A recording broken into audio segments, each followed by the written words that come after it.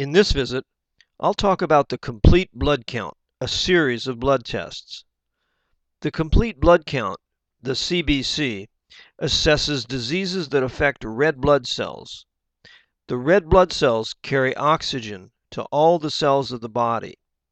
Anemia is when there are fewer than normal red blood cells. Polycythemia is the problem of more than a normal amount of red blood cells present. The CBC assesses diseases that affect the white blood cells. The white blood cells fight infections in the body. Leukopenia means fewer than normal number of white blood cells. Leukocytosis, an increased white count, means more than the normal amount of white blood cells. Leukocytosis, an increase in the number of white blood cells, can result from infection. Malignancy is where a component of the white blood cells grows without limit. An example is leukemia. And finally, the CBC assesses diseases of the platelets. These tiny blood cells are important in forming blood clots. When there are not enough platelets, called thrombocytopenia, a person can be at risk for bleeding. In thrombocytosis, there are more than the normal amount of platelets, and a person can be at risk for blood clots, such as deep venous thrombosis or pulmonary embolus.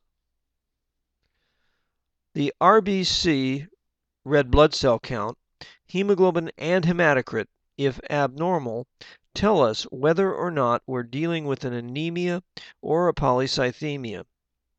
Anemia again, is when there are not enough red blood cells. And it's the most common disease affecting red blood cells. Polycythemia, too many red blood cells, is much less common. Fatigue, shortness of breath, heart pounding, dizziness, and sweating can all be symptoms of anemia.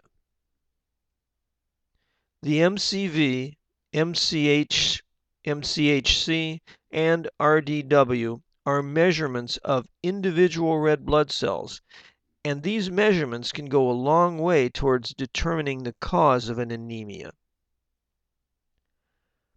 The next component of the CBC is the platelet count.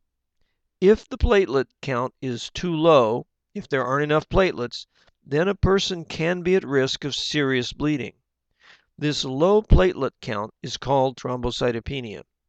If the platelet count is too high, if there are too many platelets, then a person can be at risk of abnormal blood clots such as deep venous thrombosis or pulmonary embolus.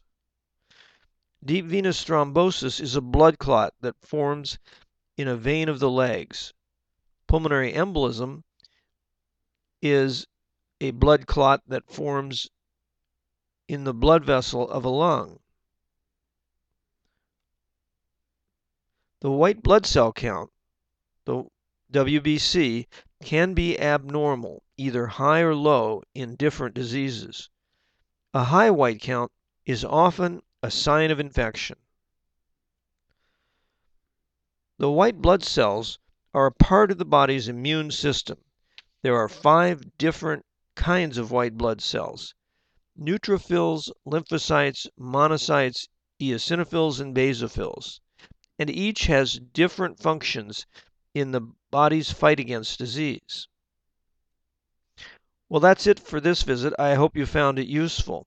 Thank you for watching.